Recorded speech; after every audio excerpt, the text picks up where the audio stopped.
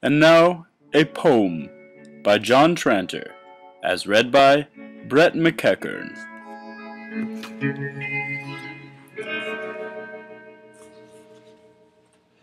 A whirring contraption whispers across the snow in an outlying suburb of my anxiety.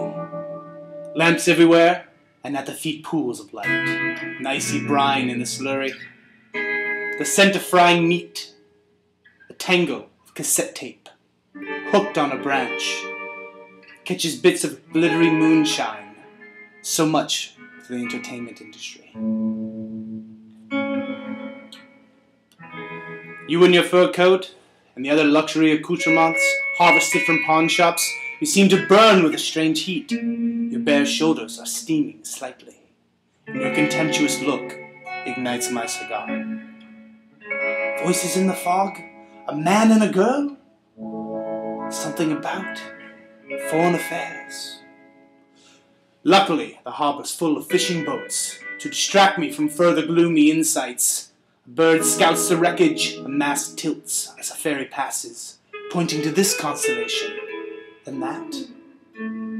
Which stars will answer my hot wishes? Which ones will rain down ruin? It's bad luck to whistle, so I whistle. The ring my old flame gave me for remembrance? What was her name? Rosa? Catches a glint from a streetlight. The artfully cut garnet gleams rose purple. That and the firefly of my cigar. Two stars on my fingers.